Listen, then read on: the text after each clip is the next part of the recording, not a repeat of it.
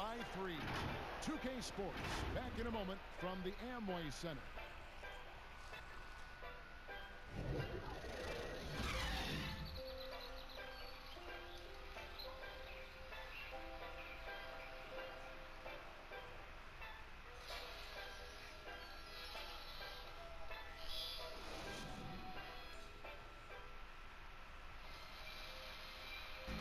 And earlier we spoke with Kevin Surviving the